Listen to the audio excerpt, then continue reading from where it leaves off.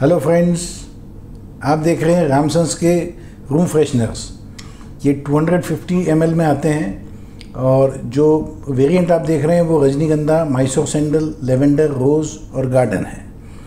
ये trendy packing में आते हैं और सारे फ्लोरल फ्रेगरेंस हैं। ये वाटर बेस्ड फ्रेगरेंस हैं।